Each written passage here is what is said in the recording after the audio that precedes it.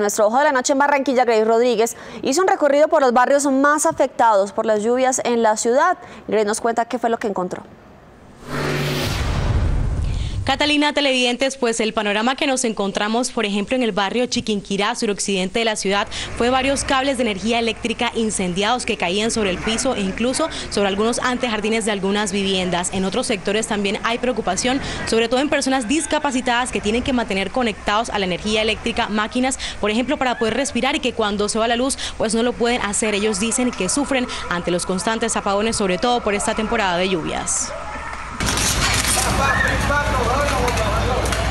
Habitantes del barrio Chiquinquirá pasaron toda la noche en alerta como consecuencia de las fuertes lluvias que dejaron varios cables de energía incendiados.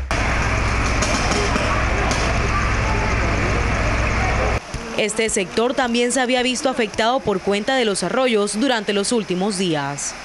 Peor porque el arroyo socavó mucho las casas y tuvieron ese, por ejemplo, tuvo a punto de caerse y después, después de eso arroyo vino esto. Porque si llueve, tenemos a que se lleven las casas o si no esto. Así que hay que estar despierto. Con palos y otros objetos, la comunidad intentó apartar los cables que caían sobre sus antejardines. Yo tengo una hermanita de brazo que sufre de asma y ella puede entrar en los ataques de asma al entrar en contacto con este humo.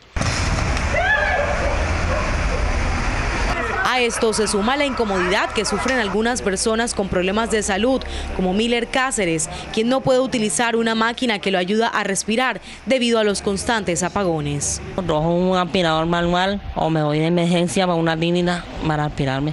Al internet de ponga la luz porque me hace sufrir. Sus vecinos, en solidaridad con él y también afectados por los daños en sus electrodomésticos, retuvieron un bus de Transmetro clamando por una pronta solución a la empresa Electricaribe. Y algunos ciudadanos pues reportaron que en otros sectores también del sur de la ciudad, como el barrio Carlos Meisel, Las Moras y también Evaristo Surdís, estuvieron también sin el servicio de energía eléctrica hasta altas horas de la madrugada. Es la información con el ojo de la noche en Barranquilla. Grace Rodríguez, Noticias Caracol.